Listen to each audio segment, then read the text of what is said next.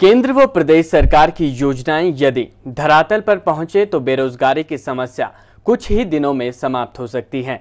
इसी को ध्यान में रखते हुए विभिन्न विभागों के माध्यम से बेरोजगारों तक सीधी पहुँच बनाकर उन्हें स्वरोजगार के लिए प्रेरित किया जाएगा।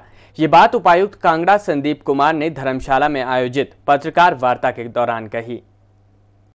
कांगड़ा के उपायुक्त संदीप कुमार ने धर्मशाला में पत्रकार वार्ता के दौरान कहा कि बेरोजगारी मौजूदा समय में सबसे बड़ी समस्या है और इसका यथाशीघ्र समाधान करने की आवश्यकता है, जिसके लिए जिला कांगड़ा में एक विशेष अभियान, स्वरोजगार आपका अधिकार विभाग आपके द्वार नाम से शुरू किया जा रहा है।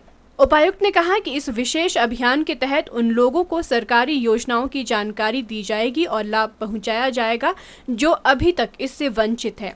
इसके तहत पहले चरण में कृषि बागवानी, मत्स्य और पशुपालन विभाग को सम्मिलित किया गया है। उपायुक्त ने बताया कि आगामी सोमवार यानी 26 मार्च को उपायुक्त कार्यालय में तीन से पाँच बजे तक विभागों के अधिकारी मौजूद रहेंगे। इस दौरान कोई भी बेरोजगार फ़ोन कर अपनी स्वरोजगार की रुचि बता सकता है। कॉल करने वाले की पूरी डिटेल हासिल करने के उपरांत पंद्रह दिन के भीतर विभागीय टीम उस व्यक्ति से संपर्क करेगी। उसके उपरांत उस व्यक्ति को उसकी रुचि के मुताबिक स्वरोजगार के लिए उचित सलाह और सरकारी सहायता दी जाएगी।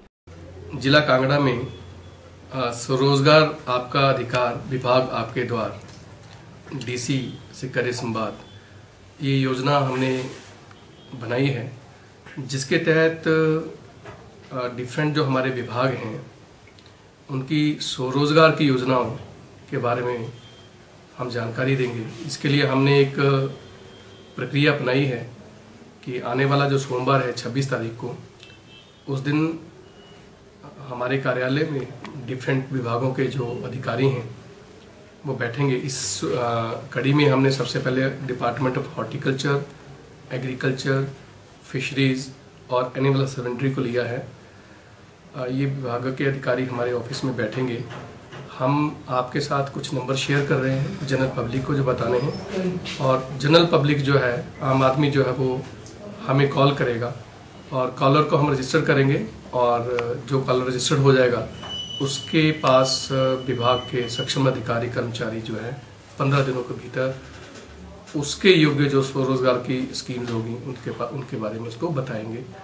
उपायुक्त ने कहा कि कई बार जागरूकता शिविर आयोजित किए जाते हैं, लेकिन शिविर में वही पुराने चेहरे होते हैं जिससे ज़्यादातर लोगों को सरकारी योजनाओं की जानकारी नहीं मिल पाती है। उन्होंने कहा कि इसलिए अब विशेष अभियान चलाया गया है ताकि इन सरकारी योजनाओं की जानकारी आम लोगों को मिल सके। सिटी चैनल के लिए धर्मशाला से नृपजीत निप्पी की रिपोर्ट।